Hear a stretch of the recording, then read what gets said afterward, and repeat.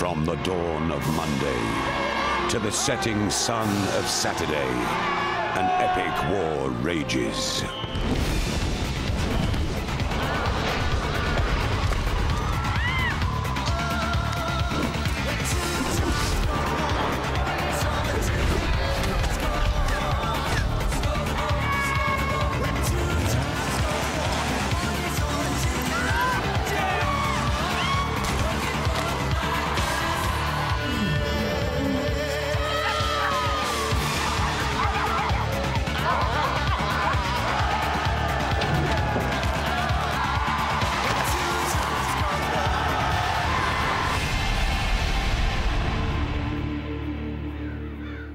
Until suddenly, harmony breaks out.